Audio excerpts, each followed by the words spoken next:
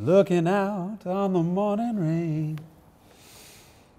Ah, whoop, you make me feel so uninspired. Okay, listen. So the other day, I was chatting with a friend who is not a car guy, which of which I have very few of these people. Oh, so you were conducting like ethnographic research or it's like doing science because you're like, how does a normal human work? Yes. And in my course of research, I shared a picture of all of my cars. And his reaction, he's an architect, and his reaction was very interesting because as it turns out, people who are not car guys don't lose their minds over, say, E30 wagons. They have very different interpretations. And someone who's in the field of aesthetics, like an architect, is always going to call out different things. So I immediately thought he was going to take one look at the Mercedes and be like, that is amazing. Because, You've thought that? yeah, because architects love what Bruno Sacco's design language was. It was simple, it was straightforward. And there's a very big difference between design and styling, right? And design is function and everything included. And That was exactly what Sacco did. But he didn't. He didn't gravitate right to the Mercedes. He went straight to the Ferrari and the Scirocco, Because they're both door stops. right? They're door stops with wheels. Right. So in this discussion, then I, I started like, Is that mapped naturally to like what your reactions of the public is when you drive the cars also?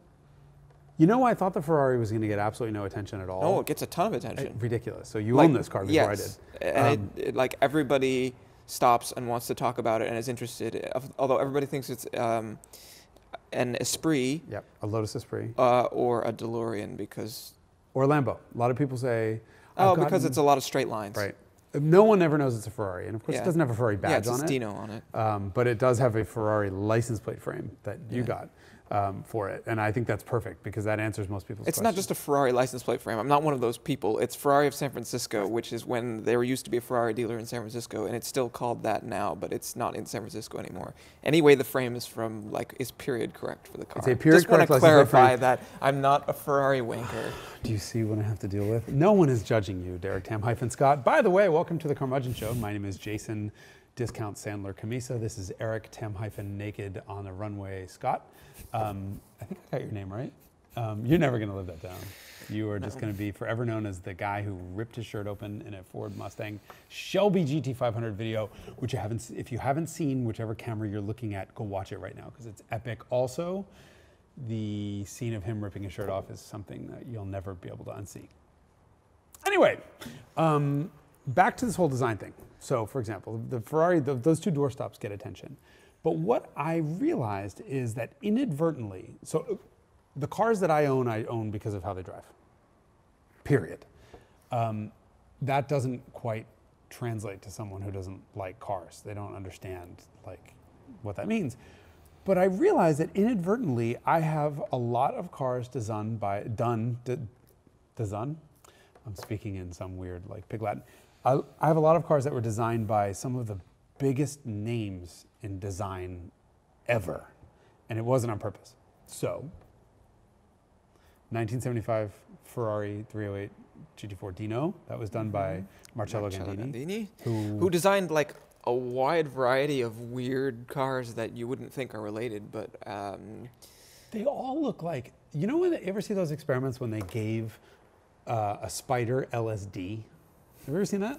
So seriously, they did this. So scientists gave oh, and then had them make webs. Yeah. Yes, I have Okay. seen this. And every one of Gandini's designs to me looks like he was just took an extra tab of LSD that day. They're all just a little spastic and crazy and silly and um, Yeah, I would say like the the shape of the rear wheel opening on the Countach, for example. he sneezed yeah. Okay. or had a seizure or had good drugs. Right? What is the? There's the. I would say the weird thing about the 308 is the wheelbase is too long for the rest of the car. The car. is weird. The, the weirdest thing about it actually is something that you Oh, pointed yes. out Yeah. is that what you loved about the car the most was the curves, and, and everyone's reaction is, "What curves? There are no curves on the car." It's the, the, the subtlest, most beautiful curves. It's Yeah. the way the front end tucks under in that Yeah. incredible radius, the rear tucks under, Mm-hmm. and that unbelievable intake, um, which, are, which are all round elements on a car that's a wedge. And every every line that looks straight on the car is actually slightly convex. Correct. Um, and to me, the most fascinating thing about Gandini is that we'll come back to him, but he was not actually concerned with aesthetics. Like aesthetics were secondary. If you read interviews with him, he was an engineer first, and he wanted to make packaging Yeah. a thing. That you know, he wanted not he wanted he wanted to make sure that packaging was done properly, and that's how that 308 can be a mid-engine two plus two car in a small footprint. Admittedly, it's not like functionally that great at any of those things because you sit in it and you're like, why is the wheel all up in my face? your like knee, the, the yeah. wheel arch from the left front wheel as, as the driver, and then the rear seat occupants are like, why did they attempt to put humans back here? And like, why is the engine like inside of the wheelbase and back seats? Like, it's the whole thing is a packaging compromise. It's a compromise, but it actually worked, and no one else has been able to do it. yeah, because everybody realized it was dumb. Okay, Like what are, what, what, what mid-engine four-seat cars are there? So there's the 308. There's the the 308's twin from Lamborghini, which is the Urraco. Right. Uh, there's the successor to that car, which is the Mondial. Uh, There's the to, Lotus. to the Ferrari. And the Lotus, Evora. Is that it? I, that's that's all, I've thought about this before. Those are the only ones I can think of that uh, are mid-engine. There's got to be something cars. here. no, I don't. Yeah, no, I think you're right. But but he did concentrate on the Packaging. packaging, which well, and that's why the Miura was so weird because he also did the Miura. Miura was one of his earliest designs that really Mhm. put him on the, the map. Are we supposed to come back to Gandini? Should we move on, or should we Gandini I now? Um, the Well- packaging of the Miura is really odd because it's a transverse 12-cylinder V12. Like there's no other car like that except for another Gandini design, which is the Cizeta, which is a transverse V16, um, which is Yeah. just asinine. But no, no one. I, it was the first production V12 mid-engine car. So the answer to how do you make a V12 mid-engine street car, there was no like state of the art or like pre-existing thinking No. about how to do that. And so he's like, let's uh, let's look at the Mini, which Mhm. is transverse and has the transaxle, uh, you know, mounted adjacent to the motor and driving the front wheels. We'll just turn that whole thing backwards and put that in the Miura. Mhm. Uh, and I think it was a clever idea that no one ever did again because there were some functional compromises. To be honest with you, that's not true. I mean, so Mini was the first with that transverse car. Eh, To date, every basically other than the Audi layout and the Renault layout, Renault layout, every front-wheel drive Saab car is exactly that, and Saab. Every front-wheel drive car has adopted that, and the only ones remaining in production today are Audis that don't have a transverse. Sorry, front- I meant for V12 Okay. mid-engine. Oh, okay. And I was going for mid-engine, the easiest thing to do is take that whole subframe and move it back, and that's, for example, Lotus Elise and Evora are that way. But what I think the the industry has realized is a longitudinal uh, mounting is actually stronger because you have a lot more room for a transaxle because the transmission can stick out behind the back wheels. And sit between the and, rear right, wheels. and you have a lot more strength. But anyway, yes. you're right. No one has done another transverse V12. uh, V12, but they have Mid-engine certainly car. done V8s and V6s Yes. and four cylinders. yes. Alfa 4C. Every, in fact, all of the non-supercar mid-engine cars are. Yeah, and we had this experience. I mean, the, the Miura is it's one of those cars that is so beautifully designed that, that when you see one in person, you don't realize how small it is until the first time you see it in person. We'll put a picture of, of uh, Miura versus the uh, my Mercedes 190, which while you're looking at this photo, realize that 190 is smaller than any sedan sold today. Um, the including stuff like Ford Fiesta. Yeah, the Fiesta I think was the smallest, and it's smaller than that. So it would be smaller than if the Honda Fit were available as a sedan. It would be smaller than that. And look at how much bigger it is than that Miura. And the Miata. Yes, And the also. Miata towers over it. That Yeah. was nuts. So the Miata, the Miura is incredible because of it, it has that one of those cars that you just it, the scale is masked by how good the design Mhm. is, and that is a result of packaging. Because subsequently, they when they replaced the Miura with the Countach, which was another Gandini design, they the engine is actually longitudinal, and the transmission is in front of the engine. Between the seats, and then there's a propeller shaft that goes back to the differential, which is between. So it was a very. That's also never been done again. So uh, when Lamborghini was experimenting with mid-engine V12s, I think they were like, "Let's try that." Oh, that didn't work. Let's try. Oh, that also Oh, didn't work. so there was some experimentation, but yeah, I, I mean, think he was driven by packaging. When you watch interviews with him, and uh, he, he makes this comment. And the same thing with the Marzal, which is another weird Lamborghini thing, which was a one-off glass d- gull-wing door thing that had a half of a V12, which was an inline six, the only Lamborghini inline six, and in order to get the packaging to fit, he had them reverse the direction of the rotation of the engine. Mm-hmm. Uh, and so if you look at one of those in profile, it's very odd because the trans because of the position of the transaxle, it's almost rear engined because the transaxle is transverse in front of the engine. Mhm. Um, but Although I think you could say that most of Gandini's designs were bizarre.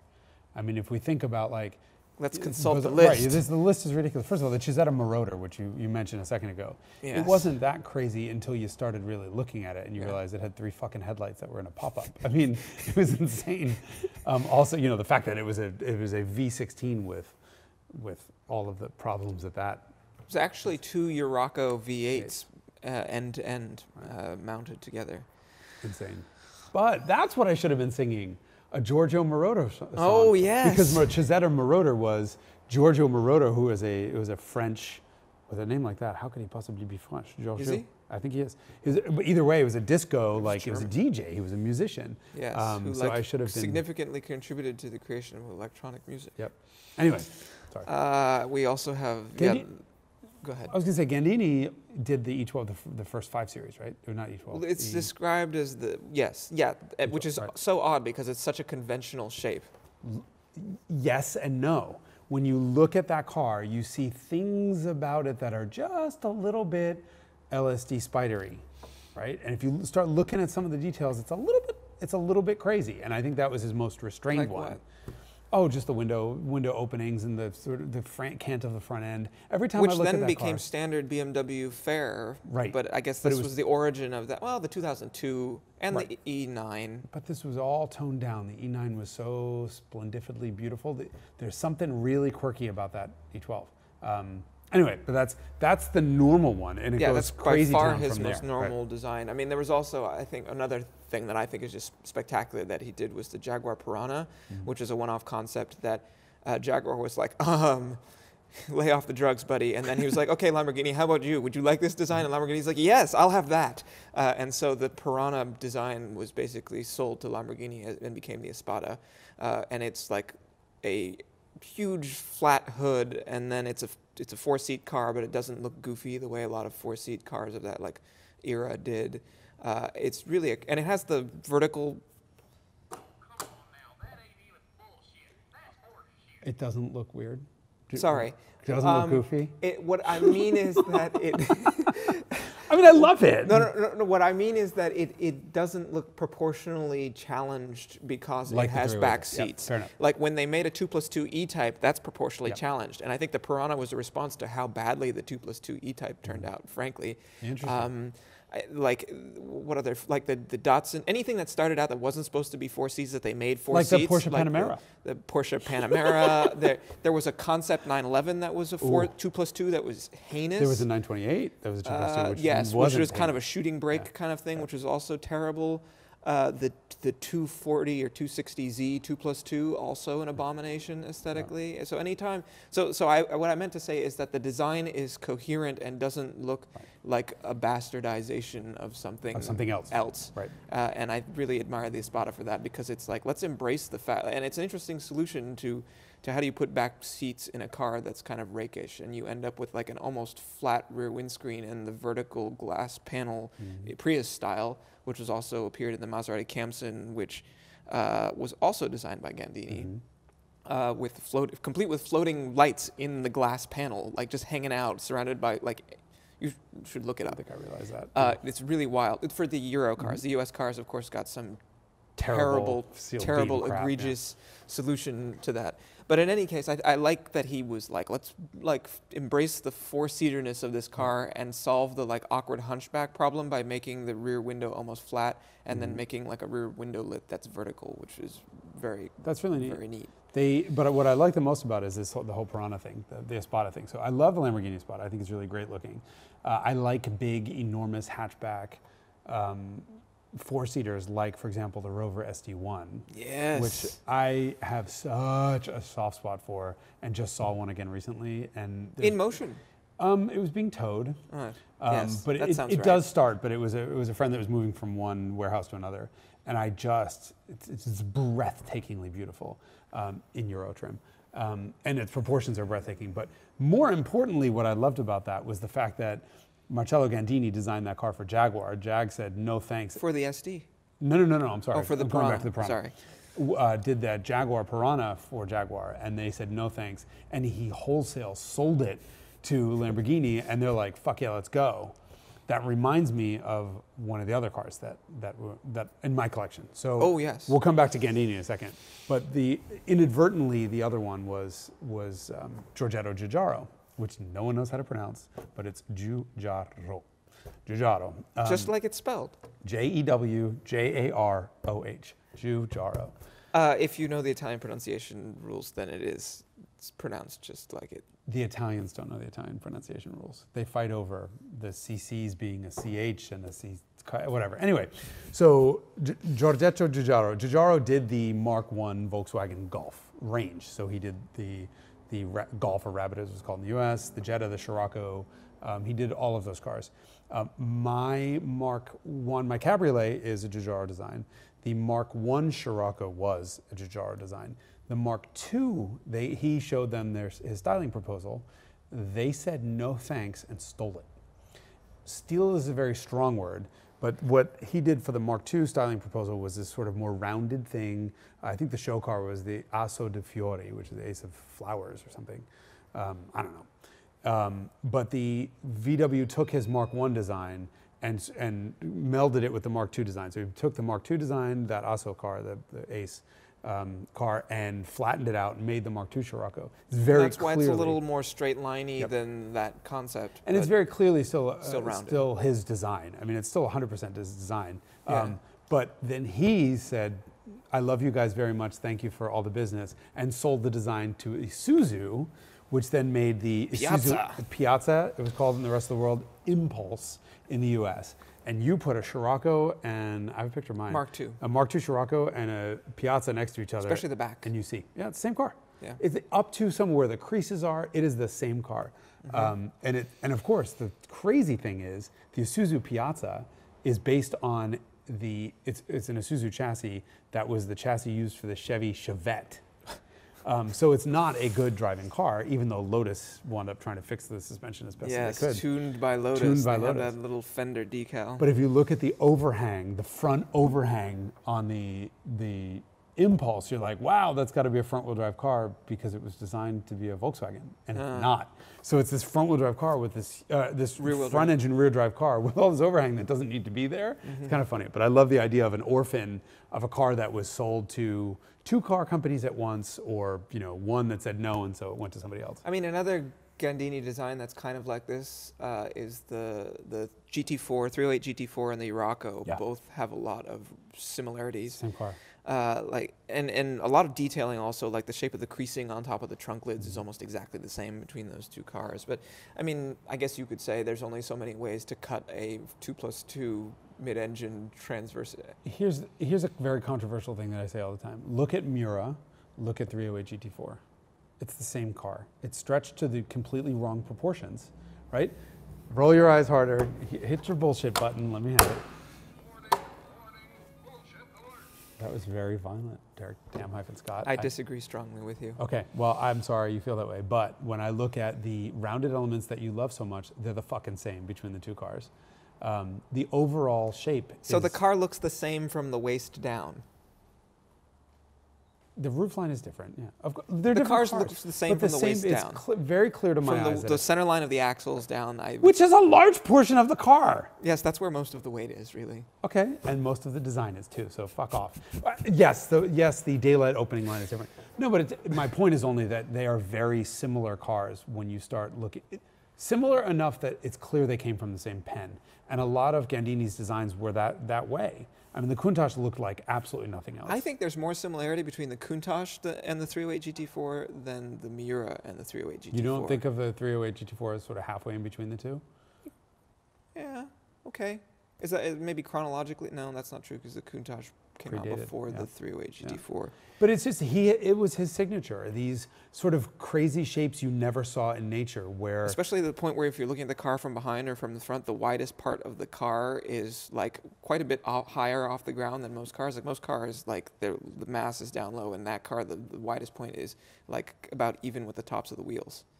Like think about how the, the rockers tuck in Yeah, on a Countach fair, true. and a 308 GT4. That's a very distinctive part. It's, it's one of his design. signatures, right? And but it's the sa- same. The, the thing is, Giorgio- uh, uh, God, these fucking G's.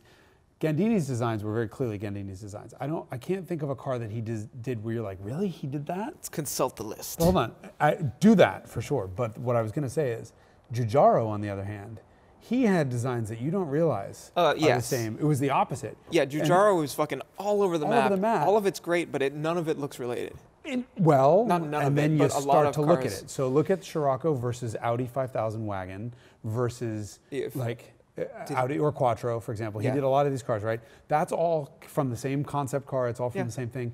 But then park a Mark One Golf Rabbit next to a Lancia Delta.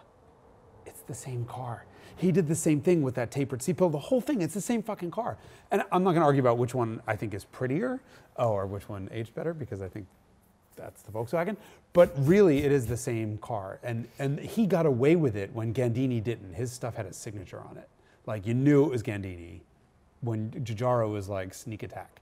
So talk to me about lists, things. Um, I think it's most interesting to go to Giugiaro. So people often ask, "Do you guys do research before?" Finally, this is the first episode that we've done. He like- printed out three I- whole pieces of paper. well, normally it's off the top of my head, Yeah. but it, there's so much. I mean, here's the thing. Let's look at so Gandini's cars were were basically one page followed by a couple. Yeah. Here's cars are stuff. three, four pages. And let's just go through like random cars that are like strangely related. So the Alfa GTV, the original GTV from the '60s, like he did that. He did the the successor, which was the Alfetta, and the he did also the Alfa 159, uh, which I think is one of the most beautiful sedans ever made. yes, wagon, even better. Yes, also true. Uh, and then he also did the first generation Lexus GS. Um, I mean, right there, you could stop right there. That GS was had nothing to do with any of those other cars. Yes. I mean, you could tell he went through phases, right? He went through the early phase where it was like very pretty 60s stuff, like uh, Alfa GTV, and he did the Gordon Keeble GK1. Uh, he did, what else? He did the, the Bertone Jet Ferrari 250 uh, SWB. Uh, so that's very like 60s looking stuff. And then he like started getting a little crazier in the 70s. Uh, he did the BMW M1, for example, and that's very like 70s wedge-shaped cars. and currently with that, he was doing, though, like you said, the Mark One Golf and the Delta, uh, Lancia Delta, uh, and so those are like the very like angular Right. 70s box-shaped They cars. were wedgy. They were all very wedgy and chunky. Yeah, Right. and then he went kind of blobby. Uh, oh, we should also mention during the wedge phase, he did Maser- a lot of work for Maserati. Right. So he did the the Ghibli, uh, the first Ghibli, the real Ghibli, not the Chrysler 300. That you consider that wedgy? Uh, it's, it's so that car had a lot of straight lines in places where cars normally didn't have straight lines in 1966, 67 when that car came Sure. out. It was really very like the f- one of the earliest production cars that it was characterized by a lot of sharp lines and creases on Mhm. it. Uh, and then he did the Bora and the Merak, which is basically the same design but Right. with a six-cylinder engine. Uh, and so that's very like 70s. Let's see what else is here. But what I love is like I'm just looking at this list at the corner of my eye, and you have BMW M1, Mhm. um, Lotus Esprit. Those are there's a similarity there. Um, Yes. EB. Oh, he didn't do the 110. He did the No, he did. He did all the blobby ovoid ones. So then you can tell by the yeah. 90s he's into like He's into full on blob That mode. So that's where the. Lexus GS Yep. 300 comes from and the blobby Bugatti concept cars, Buick the- Park Avenue Ultra's interior seating. which is also very blobby, and the Maserati 3200 and, four, and 4200, which are Those are the crazy taillights, yeah, the right? boomerang taillights. Uh, and then uh, let's see. What did he do for. Porsche? There's a Porsche listed on here that I Mm, can't. he didn't do any production Porsches. Okay. Um, yeah, but his stuff that is Oh, true. and the Saab 9000 is like actually I think not very blobby for him. I guess it's pre-blob era because it's now He's now moving the into the blob. The 80s, yes. He's he's it's the Mhm. the Saab 9000 actually acts as the transition between the Lexus GS and the like Lancia Earlier Delta stuff. Volkswagen. Yeah. Uh, Mark One, and then he did the the DeLorean, which is also a DeLorean's a Scirocco.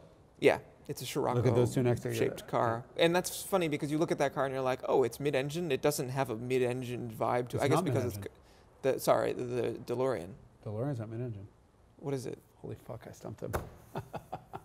the DeLorean is not mid-engined. Where's the engine in that car, Derek Tam Scott? Behind the seats. hmm Is it rear engined? Yeah, it's 911. No one knows this. It's the most amazing part of, the, of automotive. That car. Let me let me just talk a little bit about about the DeLorean. We should probably just do a whole episode on it. That was supposed to be a mid-engine car using a rotary engine. GM, I think it was he was contracted with GM, canceled their rotary engine project. He con- he was like, oh fuck, contracted. He meaning being John, John D. DeLorean. DeLorean. This is after the car was already supposed to be in production. He's that late, contacts Citroën and says, Hey, can I have one of your four cylinders? They're like, I don't care if you like, I don't know. Why Whatever. would he want a Citroen engine? Those engines are like tractor engines. Fuck knows. He was going to turbo it. They found out that he was going to put a turbo on it because this thing would wound up being, you know, far heavier than it was supposed to be. And it was a big car. And they were like, go fuck yourself. Uh, uh, threw the cigarette at him. He had no engine. So this is after the car's supposed to be in production. Not only does he not have an engine, he also doesn't have a chassis. So he contacted Porsche I think that's and Lotus. you go home. Right. He contacted a whole bunch of people and were like, this is my budget. I got $3. Who can make me a chassis? Porsche said, fuck you, we're not interested in working with you. And Lotus was like, right, well, we've got this Y chassis thing from the Esprit. So it's a Y up front and a Y in the back, right? That's so it's basically the passenger backbone. Backbone, right? Where are you going to fit a mid-engine? Can't because But the the, Esprit is mid-engined. they, yeah, but their, the suspension is in the Y, right? It wasn't going to work in the DeLorean. So they put the engine in the Y in the back behind the rear wheels. And it worked. And by I the way, mean, that's a PRV. charitable definition of worked. It worked. I mean, the car goes Look, down the the, road. crazy thing is he grafted that uh, rear engine design. This is, I guess, another Giugiaro masterpiece, right? He grafted a rear engine design onto a car that was supposed to be mid-engine, and no one noticed. There's a whole fucking engine back there, and not just an engine, a PRV V6, a 2.8 liter V6. Terrible engine. Yes, but it's all behind the it's behind the rear axle. Anyway, I mean, I think that that could be an episode on cars that mask their ridiculous where their engines are. All the Bentleys with the W12s hanging out in front of the headlights. You don't Audi even know. Yeah. Anyway, Hmm. but that's that's one of Gi- uh, masters is that he could he could pull off packaging things as well. Yes, but he was like, it wasn't driven. His decisions weren't driven like Gandini's were uh, by packaging. Right. Like Gandini would start with the package and then he would design the car around it. And Well, I think that kind of shows. I mean, Gandini stuff is not really mass market. He did Citroen BXs and weird, weird stuff. Whereas Giugiaro, I mean, again to this list, it's like everybody and their mother yeah, did a Giugiaro car, and they never stood out as being anything but pretty. They just worked. yeah, and you couldn't tell that they were designed by the same person Right. because he was, I think, good at getting a design that was representative of the brand he was working for instead of just like i'm going to create this thing now who will buy it jaguar no okay how about you lamborghini Well- just work down the list Well, and look, Gandini did the same thing with the Rio GT4 and the, and the Lambo, the Urraco, right? Same thing. He sold the same design. Here's a question for you. Flip around that argument. Bruno Sacco. I think of Bruno Sacco as one of the possibly five greatest designs designers ever, um, but he did one design. He did once. Yeah, and he like refreshed it a few times, and then the last time he did it, he was like, "Okay, it's perfect," and right? then he, he went and it was done. and we're of course talking about The Mercedes. R129 Right. Well, SL. in chronological order. Yes. He started his first design for Mercedes was the W126, Mm-hmm. which I think he went halfway on. On his philosophy, yes, Right. because you could like it has a conventional three box form. The trunk and the hood are about the same Mm-hmm. height. The trunk is pretty long and sort of trunky, the way that a conventional sedan was, if you compare it to the 116 before it. Right. And It was an evolution of the 116 with a little bit of yes, touches with a lot it. of cleaning up Right. and like and then was given the job to be design, head of design and came out with the design language that was the W201, the 190E, Mhm. the W124, the E-Class, you know, 300E, 500E, um, and then ultimately the 140, uh, which is not his most successful design, and the No. 129. Yes, which which, was is his best. most successful Right. design. He thinks so. Um, I think the R129 is perfect, but I also have Robert Cumberford from you know, the, the design curmudgeon from Automobile, who Yes. I have endless respect for, saying he agrees with me that the W201 is the best proportioned small sedan ever made. Period. Yeah, or but might that's have been quite some Plug-Splitter. qualification. Small sedan. I it, so it is But- hard to get good proportions on a small sedan. It's harder to do good proportions on a small sedan. Right. So we're talking about packaging stuff, and this is a car that's smaller than a Fiesta and doesn't look like the blob that the Fiesta does, and that new terrible BMW 2 Series Grand Coupe, and all the other small sedans don't work, and they tower over that 190. I mean, it's way bigger. dimensionally. Um, so, but Sacco made this styling language that worked on a subcompact sedan, a full-size S-Class, a Roadster, the 124, which is probably actually the best, the best of all of them. I, mean- yeah, I, I equivocate between the 124 and the 129, between the SL and mm-hmm. the the, the E class. The mid-size car. As, but so here's my question: Does that make Sacco any less of a genius because he just had one hit? Like it, you know. Here's the thing: if how do I know if a car was designed by Bruno Sacco? If it is a Mercedes and it is perfect, it is Bruno Sacco. Right? What other Mercedes before or since? I think a lot of the Paul Bracq stuff is very beautiful also. That's 116 and Pagoda and, And 108. 108. Beautiful, but not life changing. Right? I think it's the same way as the guy who, Claus Luthe is the, the German guy who did this, this E30. Um, pretty design. I really love the car. I, I love the way it looks, but it didn't move the No, I agree. needle, right? It was just a conventional design. It was actually, it was another design that he sort of continued to, to refine. And I think So what else did he do at BMW? I don't think he. I think he did this. He did like he did the E32, the seven series, which was a major, a major change. But I don't think it. And he I like the E32 a lot. I I, think, think it's very handsome. right. But I think the big change was actually afterwards, E36 to then E38. Eight. I And think that- E38 is the best looking 7 Series ever made. I think that it's incredible. The high deck, short high deck, it looks so athletic even though it's a big car. I just saw a Shorty Sporty, so a short wheelbase Yeah. four pack, 740. I had one. I don't know if you Yeah. knew that. I knew that. Um, it's just it's sedan perfection. Yeah. Um, so even though this guy was good, I mean, he's unfortunately his notoriety is that he went to jail for murdering his son. Um, Like Marvin Gaye's dad. Did Yeah. Marvin Gaye's dad have consequences for that? I I, just know that he killed his son. I know. I think this was a pretty tragic situation. I think the son was addicted to drugs, and it was one of these like this poor guy probably had to kill his son in self-defense. Whatever. That's that's what he's known for. But I just I look at that car and I say, okay, I like the way it looks. It's a nice design. Uh, sorry, it's nice styling, but it's not the greatest design in the world. Sacco's designs. He is the one that came with that came up with that rounded the rounded hips at the like sort of octagonal shape of the back Yes. of the car. Yeah, Um, which you he- see in the 190 and the yeah. 124 when you look at it from the back. There's just this wonderful radius to Look the at right of the- the trunk. look at the 2.316 versus the E E30 M3 and look at what BMW had to do to the E30 to get a wedge shape for aero.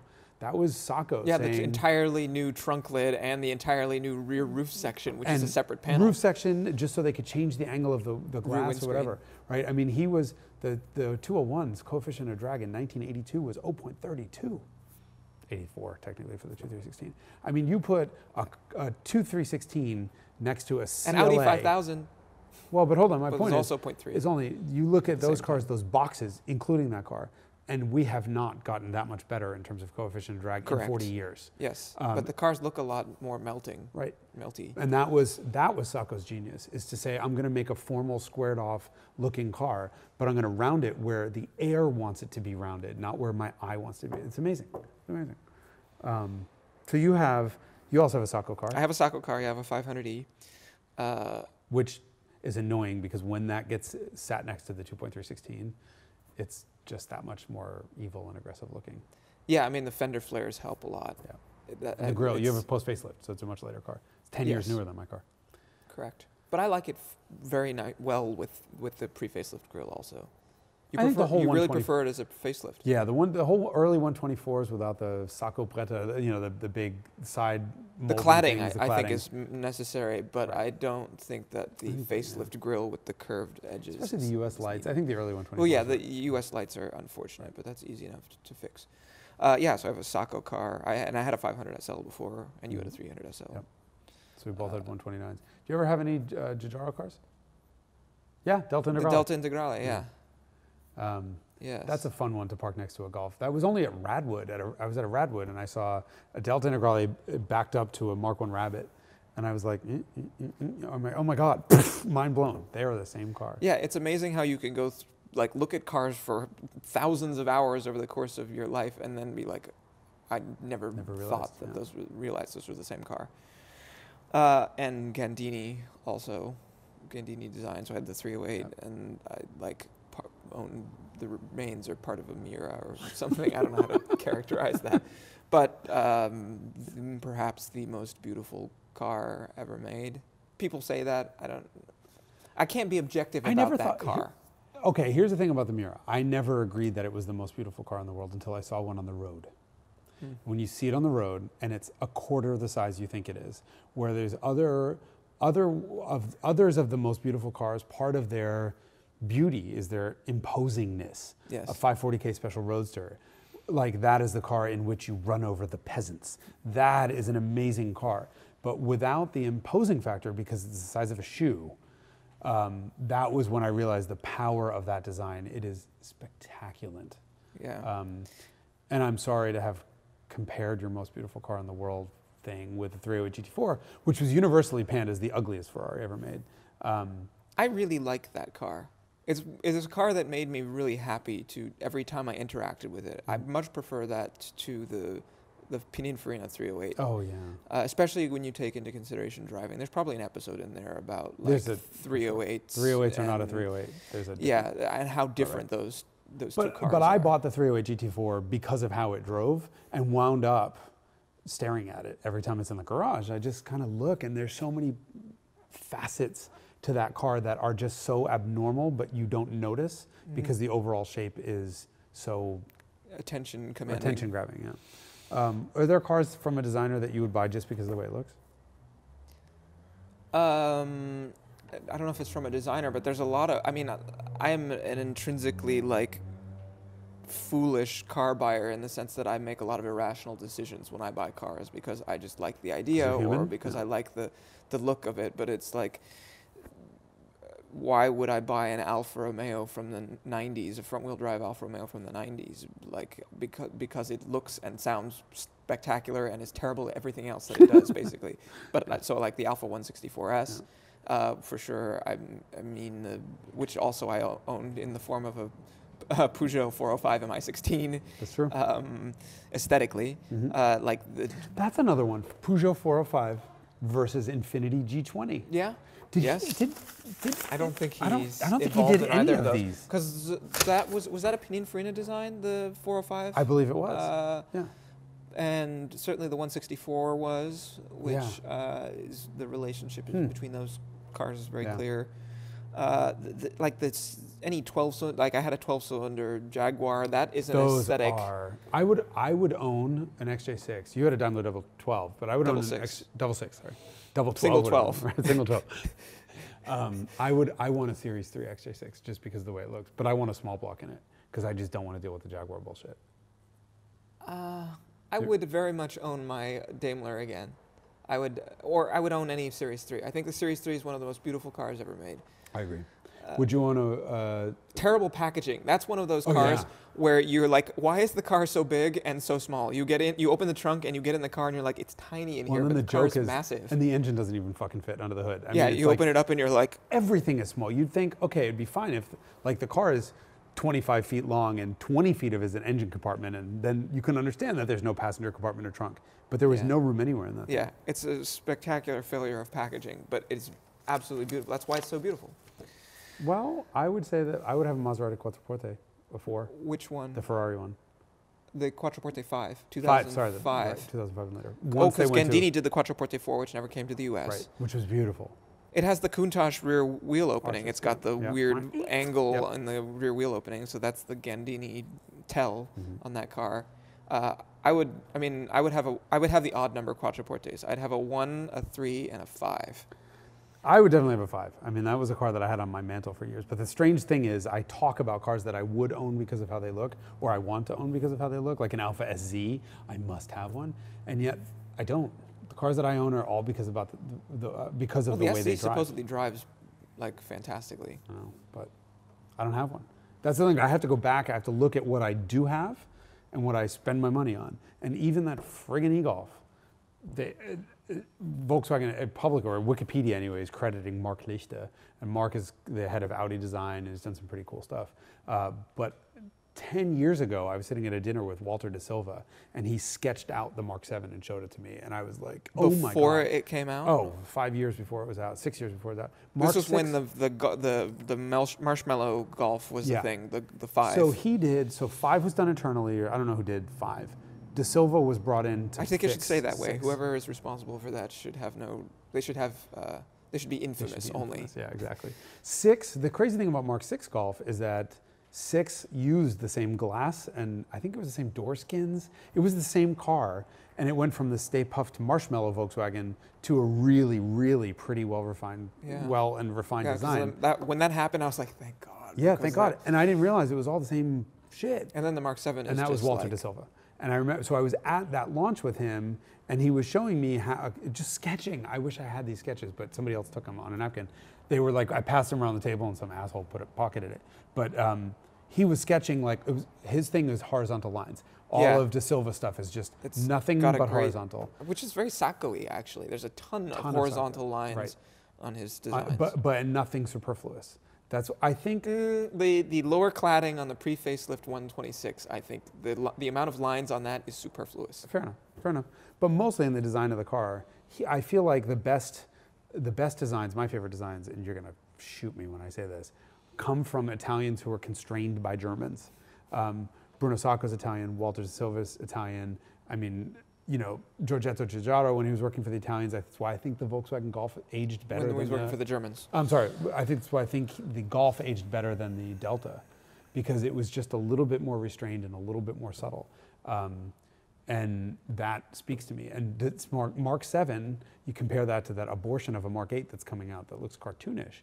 Seven. It's still not a bad looking car as the vast populace of cars go, but yes, No, but I think the Mark the 7 is really yeah. Right. They took that simplicity and purpose of, Elegance. of line. Every line has a reason to be there Yes. on Mark One, Mark Four, Mark Seven, and not on Eight, for example. I think that's a really important distinction between styling and design. Also, is like, is there superfluous stuff? Like you look at modern Hyundai stuff, and you're like, wow, that's quite stunning. It's remarkable. And then you think, well, how's this going to look in a few decades? I, I don't think it's going to age well. And uh, there's a lot, and Mercedes does this a lot too.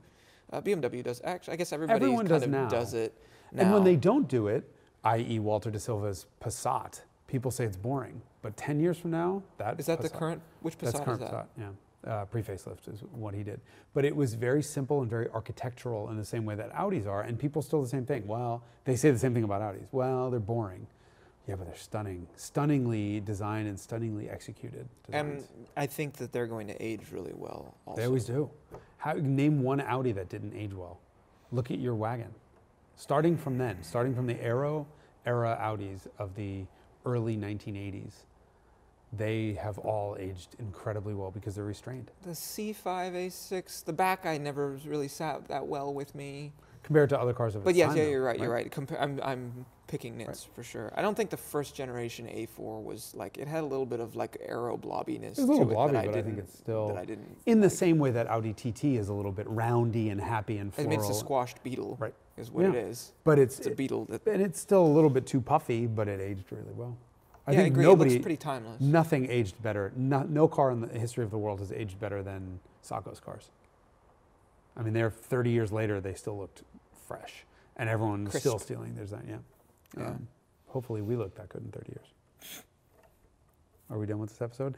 Okay, so if you enjoyed this episode, make sure you go to the ISSIMI YouTube page, click subscribe, and most importantly, click on that little notification bell so you know whenever we publish something, which could be something like a Carmudgeon show. It could be something like a proper care and feeding episode where I yell at you for doing something terrible to a car, or it could be an icons video, or for all we know, it could be Derek Tam Scott ripping his shirt off and firing the most beautiful that. flag girl ever. Come on, you can do it again? Nope. That was a one-time deal. Oh well, I tried.